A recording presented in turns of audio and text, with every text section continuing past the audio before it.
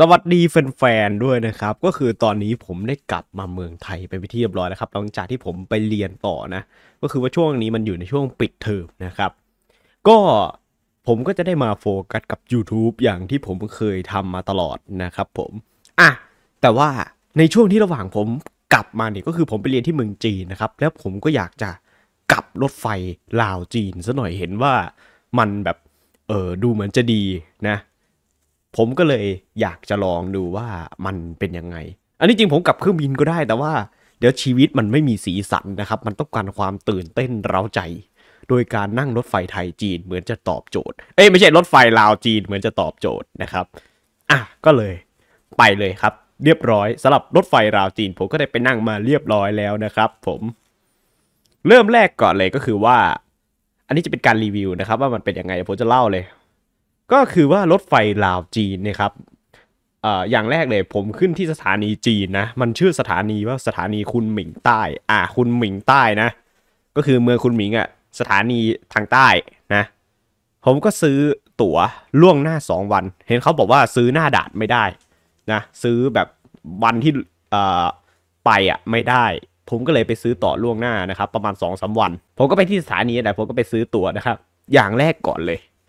อ่า คนขายตั๋วนี่เขาจะพูด อันนี้พูดขายตั๋วพูดจีนนะ แต่ผมจะแปลให้ เขาถามว่าวีซ่านะทำหรือยัง ผมก็บอกว่า เอ้ย ไปลาวนี่มันไม่ต้องใช้วีซ่าไม่ใช่เหรอครับปึ๊บคนนั้นนี่ก็เหมือนจะงง มันมันต้องใช้วีซ่าสิผมก็เลยบอกไปว่า อะผมไม่ต้องใช้ไม่ต้องใช้ เขาก็ถามว่าชัวนะ ชัวผมก็บอกว่าชัวอะโอเค ชัวปุ๊บยื่นพาสปอร์ตให้ แล้วก็ซื้อตั๋วมาหมดไป540หยวน นะซึ่ง 540 หยวนนะครับก็น่าจะประมาณอ่า2,700 บาทอะโดยประมาณนะครับ ก็ซื้อตั๋วมาเสร็จปุ๊บแล้ว โอ้โห ตั๋วรถไฟนี่ มันขึ้น 8 โมงเช้ามันออก 8 โมงเช้านะครับ แบบแบบตื่นเช้ามากอะ่ะ ผมต้องตื่นเช้าแล้วผมก็นั่งรถไปนะครับ เพื่อที่จะไปสถานี พอไปสถานีเสร็จปุ๊บก็อ่า เขาก็เหมือนจะเข้า gate เครื่องบินน่ะก็คือแบบมีสแกนเอ่านู่นนี่นั่นตรวจพาสปอร์ตไอขนาดไอคนก่อนก่อนที่จะเข้า gate อะไอตอนตรวจพัสดุไอตรวจของอะเขาก็ยังถามเลยวีซ่าทำยัง ผมก็บอกว่าไม่ทำเมืองไทยมันไม่ต้องทำพอถึงช่วงเวลาประมาณสักครึ่งชั่วโมงก่อนรถจะออกนะครับเขาก็จะให้เหมือนกับสแกนตั๋วแล้วอ่าสแกนตั๋วแล้วก็ไปนั่ง ซึ่งผมก็ได้ไปนั่งรถไฟนะครับ บอกได้เลยว่า ขึ้นนี่ผมอยู่โบกี้ที่6นะครับก็คืออ่าขบวนที่ 6 ตู้ที่ 6 อะอะตู้ที่6เนี่ยถ้าผมจะไม่ผิดมันจะอยู่เกือบเกือบท้ายขบวนเลยนะครับ ซึ่งเบาะนี่โอ้โห ดีกว่าเครื่องบินนะ ดีมากครับเบาะดีมากนั่งสบาย และมันปรับเอนได้แบบแบบอ่อไม่จำกัดเท่าไหร่ แต่ว่าถ้าเกิดจะปรับเอนก็ระวังคนข้างหลังด้วยนะ บอกไว้ก่อนอะแล้วพอถึงเวลารถไฟออกนะครับ ก็คือ ผมนี่โอ้รถไฟเนี่ยมันดีอย่างหนึ่งก็คือว่ามันแบบคนที่นั่นอะมันมีปฏิสัมพันธ์ที่ดีนะครับ ไม่ว่าจะเป็นรถไฟไทยหรือรถไฟจีน ก็คือคนที่นั่นมีปฏิสัมพันธ์ที่ดี ซึ่งมันไม่ได้สูบบุหรี่นะ เพราะว่าเขาห้ามสูบนะครับ รถไฟเนี่ยก็มีแอร์ในตัวด้วยอ่าตู้หนึ่งเนี่ยมีแอร์พอรถไฟออกโอ้โหวินาทีแรก พอรถไฟออกครับ ว้าวเลยนั่งสบายมาก ยิ่งรถไฟแบบมันเร่งความเร็วแบบสุดๆอะ ก็คือแบบสบายมากนั่งสบายมากครับ บวกกับความเร็วรถไฟนี่นั่งสบายจริง ๆ ก็นั่งนั่งไปเสร็จปุ๊บมันก็จะแบบมันเขียนว่าขบวนรถไฟอะมันใช้ความเร็วเท่าไหร่ ซึ่งผมก็อ่านดู มันบอกว่าใช้ความเร็ว 160 กิโลเมตรต่อชั่วโมง โอ้160 กิโลเมตรนะครับ ก็ถือว่านานอยู่ โดยกำหนดการนะครับ นั่งไปเวียงจันทร์นี่จากคุณหมิงใต้ไปเวียงจันทร์นะครับ ใช้เวลาทั้งสิ้น 10 ชั่วโมง แต่นั่งจริงมันไม่ถึง 10 ชั่วโมงนะ เพราะว่าไอ้ที่มันเปลืองจริงๆอะก็คือ มันจะเป็นช่วงตรวจคนเข้าเมืองนะผมจะเล่าอีกทีนะ แล้วคนในรถเนี่ยโอ้ปฏิสัมพันธ์ดีมากครับ แบบชวนคุยตั้งแต่ต้นทาง ก็คือจะมีผมนั่งไปกับอ่าน้องไอ้พวกผมอันที่จริงผมนั่งคนเดียวแหละแต่ว่าผู้ผู้โดยสารคนอื่นนะก็เป็นทั้งคนลาวคนจีนอ่าประมาณนี้ก็คือแบบนั่งคุยกันนะครับ โอ้คุยกันสนุกมากครับ แบบคุยกันจนแบบเวลาผ่านไปเร็วๆเพราะสถานีหนึ่งเนี่ยก็ ใช้เวลาเป็นชั่วโมงนะกว่ามันจะจอดหนึ่งสถานีนะครับ ผมก็นั่งไปและสักพักก็จะมีเอ่อคนมาตรวจตั๋วเขาก็จะถามเรียงหัวเลย อ่า ใครยังไม่ทำวีซ่าบ้าง อือหือ ตอนนั้นแหละ ตอนที่ใครยังไม่ทำวีซ่าอะผมก็บอกว่าเอ้ยผมเป็นคนไทยเนี่ยผมไม่ต้องทำไอ้คนอ่าพนักงานก็บอกว่า อ่า ใช่อ่าคนไทยไม่ต้องทำไม่ต้องกลัว แต่ว่ามันจะมีบางคนที่เป็นคนจีนนะครับ เขาไม่ได้ทำวีซ่าเว้ย เขาก็บอกพนักงานไปเลยว่าเอ่ออันนี้คนจีนนะไม่ใช่ผมนะคนจีนนะก็บอกพนักงานไปเลยว่าไอ้เขาเนี่ยไม่ได้ทำวีซ่าพนักงานก็บอกว่าอ๋อไม่ทำวีซ่าไม่เป็นไร เดี๋ยวถึงก่อนจะถึงสถานีที่ชื่อสถานีหม้อหารน่ะ ให้ให้ย้ายไปที่ตู้ที่สี่นะ ก็งงว่า ตอนแรกผมก็ฟังผมก็งงอะทำไมต้องย้ายไปตู้ที่สี่ด้วยวะแต่ว่าคนจีนน่ะก็ถามว่าอ้าวถ้าเกิดว่าผมไม่ได้ทำวีซ่านี่ ผมจะต้องลงรถไหมเอ่อลงรถไปทำวีซ่าลาวไหม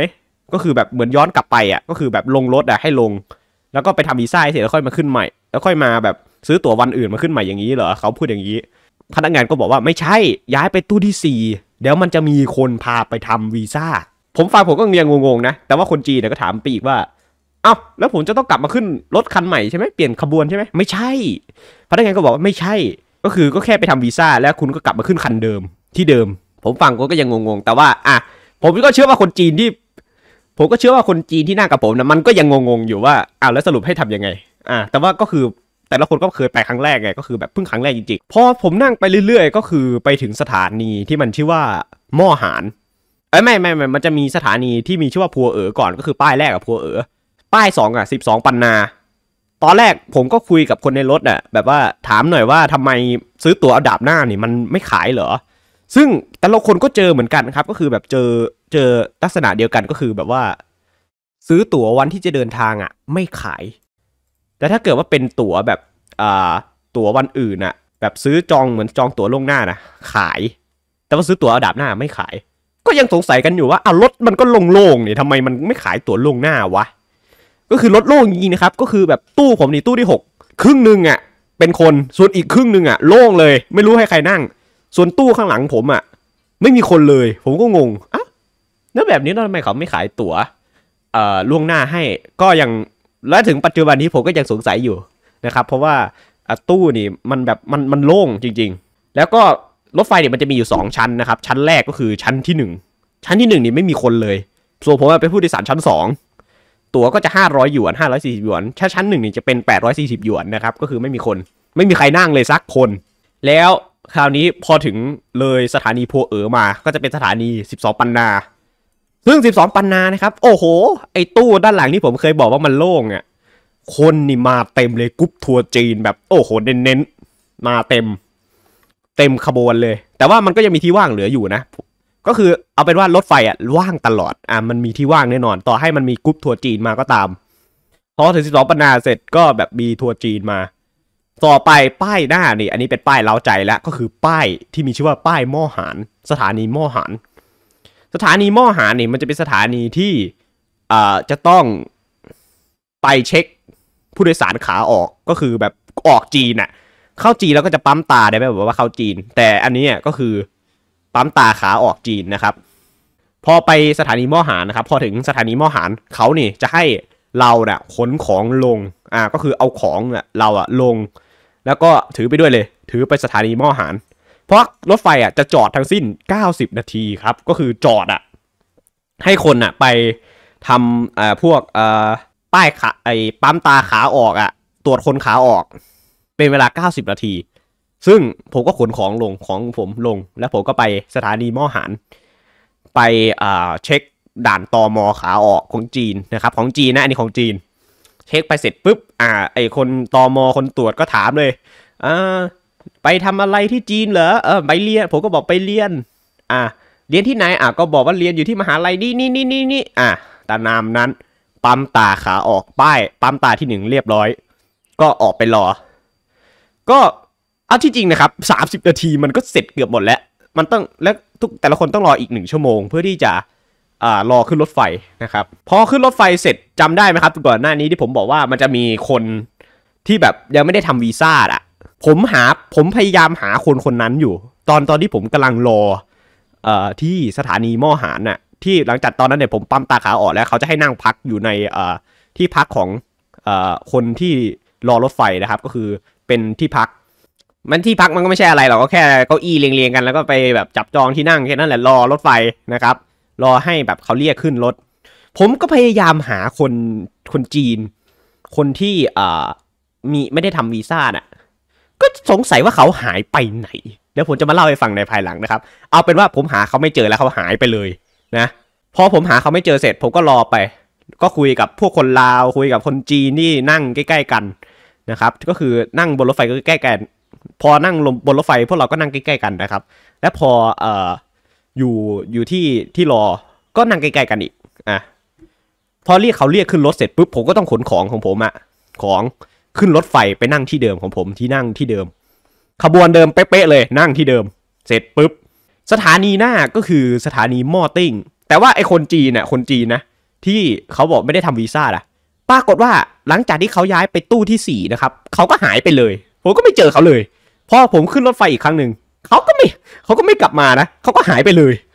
แล้วรถไฟนะครับก็ออกไปสถานีต่อไปออกจากมอหารก็คือผมใช้เวลารออยู่ที่ ผมใช้เวลาอยู่ในสถานีโม่ฮานอะ 90 นาทีชั่วโมงครึ่งนะครับ กว่าจะได้ขึ้นรถอีกครั้งหนึ่งอ่า พอขึ้นรถเสร็จปุ๊บสถานีหน้าคือสถานีที่มีชื่อว่าหม้อติ้งหรือก็คือบอร์เต็นน่ะอ่าเขาเรียกว่าบอร์เต็นแต่ถ้าเป็นเมืองจีเขาเรียกว่าหม้อติ้งผมก็ไปบอร์เต็นแต่ว่าบอร์เต็นกับหม้อหารน่ะห่างกัน 10 นาทีนะครับ ก็คือนั่งรถไฟไปแค่ 10 นาทีอะถึงสถานีโม่โม่ติงแล้ว และสถานีโม่ติงนี่ครับ มันเป็นเขตของลาวแล้วนะครับ มันไม่ใช่เขตของ จีนแล้วก็คือบ่อเต็นก็เป็นของลาวแล้วนะครับ พอไปนั่งรถไฟไปบอกได้เลยนะครับว่าเน็ตหลุด ก็คือผมผมยังใช้เบอร์จีนไงผมมีเบอร์จีนกับเบอร์ไทยนะครับ เบอร์จีนใช้ไม่ได้แล้ว พอไปโม่ติงกับเบอร์จีนเน็ตจีนตัดแล้วใช้ไม่ได้นะครับ นอกเขตสัญญาณ ซึ่งตอนนั้นก็ไม่มีเน็ตเลย ผมก็อาศัยที่ว่ายืมเน็ตจากคนที่นั่งไปด้วยกันน่ะซึ่งคนจีนที่นั่งด้วยกันนะครับ ก็ยืมเน็ตจากคนลาวที่ พวกน้องคนลาวนะครับที่นั่งไปด้วยกันก็คือแต่ละคนก็ยืมเน็ตอะแล้วน้องคนลาวก็ใจดีมากครับ แชร์เน็ตให้เลยเขาจำได้มีกันอยู่ 4 คนอะแต่ละคนก็เปิดเครื่องของตัวเองแชร์เน็ตให้แก่คนจีนนะครับที่นั่งไปด้วยกันก็รวมถึงผมด้วยผมก็ได้รับอันนี้ส่งนะครับโดยการยืมเน็ตของน้องคนลาวก็ขอขอบคุณด้วยนะครับ น้องเขาไม่คิดตังค์สักบาทด้วยนะพอไปถึงสถานีมอติ้งซึ่งมันอยู่จากไอ้ด่านผ่านแดนเมืองจีนนะด่านเช็คขาออกนะครับก็คือด่านขาออกนี่มันชื่อว่ามอหารใช่ไหมแล้วต่อไปก็เป็นมอติ้งซึ่งเป็นด่านลาว ห่างกันสินาที ผมก็ต้องขนของที่ผมเพิ่งเอาขึ้นมาน่ะสิบนาทีพวกก็คือเอาของเพิ่งขึ้นมาจากรถไฟได้แค่สิบนาที ผมก็ต้องขนของอะ ลงอีกแล้วอ้าวขนของลงไปที่บอร์ดเต็น ไปตรวจคนเข้าเมือง ตรวจคนเข้าเมืองนะครับ ก็คือคนก็จะเป็นคนของคนลาวแล้ว ก็จะมีให้กรอกอใบตรวจคนเข้าเมืองก็คือเป็นกรอกเหมือนใบพอเราเข้าประเทศไหนมันก็จะมีให้กรอกใบอะไรถูกไหมอันนี้ก็กรอกเหมือนกันครับ กรอกเสร็จปุ๊บ ก็ยื่นให้เขา เขาเห็นพันปลอดไทยเขาก็ถามเลย โอ้ ไปไหนมาเหรอเอออะไรประมาณนี้ก็คือไม่ใช้วีซ่าครับเข้าเลย เข้าไปเสร็จ ผมก็ต้องรออีก 30 นาทีนะ หลังจากตรวจคนเข้าเมืองลาวเสร็จรออีกเอ้ไม่ใช่ 30 นาทีสิ90 นาที เออ รออีก 90 นาทีครับ ก็คือจำได้ไหมครับที่ผมบอกว่า ตอนอยู่หม้อหารผมก็ต้องรอ 90 นาที พอมาอยู่อ่าหม้อติ้งบอเตนก็รออีก 90 นาที รวมแล้ว 3 ชั่วโมงครับ ที่ผมต้องนั่งรอรถไฟ ให้มันแบบตรวจคนเข้าเมืองขาเข้าขาออกเสร็จ พอครบ 90 นาทีเสร็จปุ๊บผมก็ต้องขึ้นรถไฟคราวนี้ไม่มีบาดแล้ว ก็ไปเลยเพราะสถานีหน้าคือหลวงพระบางแล้ว แล้วจำได้ไหมครับ ที่ผมบอกว่าผมขึ้นรถไฟ คราวนี้พอถึงบอดเต็นนะครับจำได้ไหมครับที่ ผมบอกว่าต้องรอ 90 นาที พอถึงเวลาที่รถไฟจะออกจากบอดเต็นนะครับผมก็ต้องขนของขึ้น แล้วคราวนี้ขนของขึ้นไปขั้นสุดท้ายแล้ว ไม่มีลงแล้วจนจนกระทั่งถึงสถานีปลายทางอะ่ะ ปรากฏว่าพอขึ้นที่สถานีเอ่อ บ่อเต็นนะครับ คนจีนที่หายไปอะที่ผมบอกว่าเขาไม่ได้มีวีซ่าแล้วเขาหายไป ตั้งแต่สถานีหม้อหารอะปรากฏว่าเขากลับมาแล้วครับ เออกลับมาแล้วแล้วสภาพนี่คือเหงื่อเต็มตัวเลย ก็สงสัยว่าฮะไปทำอะไรมา ผมก็ถามเขาเลยว่า เอ้ย ไปทำอะไรมาเหรอเขาก็เล่าเลยบอกว่าเขาอะโดนย้ายอะไปตู้ที่สี่เพราะว่าเขาน่ะไม่มีวีซ่าคราวนี้พอถึงตู้สี่เสร็จปุ๊บเขาน่ะต้องไปถึงสถานีหม้อหารใช่ไหมครับเขาน่ะ ไม่ได้ไปด่านตรวจคนเข้าเมืองนะครับ เขานี่ออกไปเลยออกไปสถาออกไปนอกสถานีหม้อหารเลย ออกไปนอกสถานีหม้อหารแล้วมันจะมีรถเหมือนกับรถน่ะที่จะนำพาคนน่ะ ไปทำวีซ่า เออ แต่ว่าต้องจ่ายค่ารถนะครับบอกไว้ก่อนจ่ายค่ารถนะ และคนที่ไปกับเขาน่ะ มีคนจีนหลายคนเลยที่ยังไม่ได้ทำวีซ่าเขาน่ะต้องนั่งรถคันนั้นน่ะ ไปยังสถานที่ที่มันทำวีซ่าเข้าลาวแล้วเขาก็แบบจะทั้งจ่ายค่ารถพอไปถึงสถานี ที่พอไปถึงสถานที่ที่ต้องทำวีซ่านะครับ เขาก็ต้องจ่ายอีก 210 หยวน อ่า จ่าย 210 หยวนนะ พอจ่าย 210 หยวนเสร็จปุ๊บเขาก็จะทำวีซ่าให้เลย แล้วเขา แล้วเขาก็ต้องกลับ แล้วเขาต้องนั่งรถอะ จากที่ทำวีซ่ามาที่สถานีหม้อหาร เพื่อที่จะเช็คคนขาออก เช็คคนขาออกนะครับ พอเช็คคนขาออกเสร็จปุ๊บ ปรากฏว่าไอ้รถไฟอะ รถไฟที่ผมนั่งอะ มันไปแล้ว เขาก็ต้อง นั่งรถนะครับก็คือเช็คคนขาออกเสร็จปุ๊บเขาก็ต้องออกจากสถานีมอหารนั่งรถนะครับไปที่สถานีบ่อเต็น เพื่อที่จะมาเช็คคนขาเข้า ปรากฏว่าเขาขึ้นรถไฟไอตอนที่ออกจากบ่อเต็นอะทันด้วยก็คือแบบเขาก็เลยบอกไปว่าไอทางเมืองจีนกับลาวน่าจะคำนวณมาแล้วว่า มันจะต้องอะมีคนไม่ได้ทำวีซ่าก็คือเมืองจีนน่ะใช้วีซ่านะครับเข้าลาวเนี่ยต้องใช้วีซ่านะแต่ว่าถ้าเป็นคนไทยเข้าโดยไม่ต้องใช้วีซ่านะครับก็คือเขาน่าจะคำนวณมาแล้วว่า มันจะต้องแบบมีวีซ่าอ่าประมาณนี้แล้วมันก็ต้องมีบางคนที่ยังไม่ได้ทำเขาก็เลยแบบคำนวณไว้เลย ช่วงเวลา 3 ชั่วโมงนะครับที่แบบก็คือทั้งด่านจีนด่านลาวรวมกัน3ชั่วโมงเขาก็ให้คนที่ไม่ได้ทำวีซ่าไปทำวีซ่าให้มันเสร็จเสีย แล้วก็สามารถมาขึ้นที่สถานีบอดเต็นได้ปรากฏว่าทันด้วยครับ สุดยอดมาก ซึ่งเป็นการคำนวณที่แบบโอ้โห โคตรจะจีเนียสมากนะ คราวนี้ก็นั่งยาวเลยครับ ยันเวียงจันทร์ คนก็ค่อยๆทยอยลงตั้งแต่หลวงพระบางวังเวียง แล้วก็พอถึงเวียงจันทร์คนก็อ่าเริ่มจะน้อยแล้วเพราะว่าคนก็เริ่มกระจายกันตั้งแต่หลวงพระบางวังเวียงแล้วก็ถือว่ารถไฟลาวเนี่ยครับมันเป็นรถไฟที่ค่อนข้างที่จะนั่งดีนะครับ แต่ว่ามันมีข้อเสียอยู่อย่างเห็นเลยก็คือว่าอย่างแรกไม่มีอาหารแจก อาหารเครื่องดื่มที่อยู่บนรถไฟนะครับ มันต้องเป็นอาหารซื้อนะคือแบบว่าคุณจะต้องซื้ออาหารบนนั้นนะครับ ถึงจะแบบเอ่อ กินได้อะไรประมาณนี้ มันไม่ใช่แบบของฟรีนะ ซื้อเอาไม่มีอาหารฟรีแจกครับ แล้วอีกอย่างหนึ่งหูอื้อบ่อยมาก เพราะว่าผมนั่งตั้งแต่ไอคุณหมิงอะยันเวียงจันทร์อะผมนับผมนับจำนวนครั้งไม่ได้เลยว่าผมหูอื้อกี่ครั้งอะเอาเป็นว่ามันบ่อยมากครับ เพราะว่าอากาศมันเปลี่ยนความดันความสูงมันสลับกันบ่อยอะหูอื้อบ่อยมากแล้วแบบโอ้โหแบบโคตรทรมานอะตอนหูอื้อแต่ละทีอะแล้วมันแบบมันบ่อยจนผมนับครั้งไม่ถ้วนอะแบบโคตร และทอถึงเวียงจันทร์นะครับ ผมก็ต้องจ่ายค่ารถ 200 บาท เพื่อที่จะมาด่านผ่านแดนลาวนะครับ แล้วพอปั๊มด่านผ่านแดนเสร็จปุ๊บไอ้ก็คือด่านผ่านแดนนี่มันไม่มีค่าใช้จ่ายนะทั้งด่านจีนด่านลาวไม่มีค่าใช้จ่ายเลยนะครับพอถึงด่านลาวเสร็จผมก็ต้องอนั่งรถข้ามโขงมาอีก แล้วก็ถึงจะถึงด่านไทยนะครับ ผมเดินทางวันเดียวนะ ผมได้มาสี่ปั๊มเนี่ยสี่ปั๊มเน้นๆนะสี่ปั๊มในพาสปอร์ตผมอะ ก็คือปั๊มแรกก็ขาออกจีน ปั๊มสองขาเข้าลาว ปั๊มสามขาออกลาวแล้วปั๊มสี่ขาเข้าไทยนะครับ ได้มาสี่ปั๊มเน้นๆน่ะจะจะถามว่าเป็นประสบการณ์ที่ดีไหมดีมากครับ โดยเฉพาะกับผู้คนในรถไฟอะครับนิสัยดีมาก แล้วแบบมีเน็ตก็ให้ผมยืมด้วยนะ แบบมีน้ำก็แจกผมนะครับเขาเอามีคนหนึ่งอะเป็นคนจีนนะครับเขาเอานมปิเขาลงทุนนะไปไปเข้าหมาดเลยนะลงทุนไปเข้าหมาดเลยหมาดที่สถานีอะแล้วเขาก็ซื้อนมเปรี้ยวมาแบบเยอะๆเลยแจกฟรีให้แก่คนที่นั่งรถไฟตู้เดียวกัน โอ้โห ใจดีมากครับแต่แต่ว่ารถไฟมันก็มีข้อดีอย่างหนึ่งนะครับ ก็คือว่ามันมีที่ชาร์จแบตด้วยนะ ก็คือแบบมันมีที่ชาร์จแบตหลายรูเลย มีทั้งจะเสียบปลั๊กก็ได้ หรือว่าจะเอาแบบ USB ก็ได้นะครับ ก็คือมีที่เสียบชาร์จอะแบตเตอรี่ไม่ต้องกลัวครับ มีให้ชาร์จบนรถไฟเลยนะ แล้วก็น้องคนเราก็ให้ยืมเน็ตก็ดีมาก ต่างคนต่างนิสัยดีหมาเลยครับในคนในรถน่ะ ถือว่าเป็นประสบการณ์ที่ดีครับ แต่ถ้าถามว่านั่งอีกรอบไหมบอกได้เลยครับฮึไม่นั่งแล้วพอเลิกครั้งเดียวพอ ก็เป็นเสร็จนั่ง 7 ชั่วโมงครับ ส่วนอีก 3 ชั่วโมงรอ ก็น่าจะเป็นประมาณนี้ครับสำหรับเรื่องรถไฟไทยลาวหากมีคำถามประการใดก็เขียนด้วยนะครับเดี๋ยวผมจะมาตอบนะ แต่ผมขอบอกไปเลยนะครับว่าถ้าเกิดว่า